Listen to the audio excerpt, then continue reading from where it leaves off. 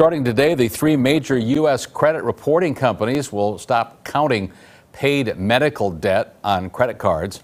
The companies also will start giving people a year to resolve delinquent medical debt before reporting it. The Consumer Financial Protection Bureau says that errors related to medical debt are coming on credit reports, and consumers often have a difficult time clearing up those problems.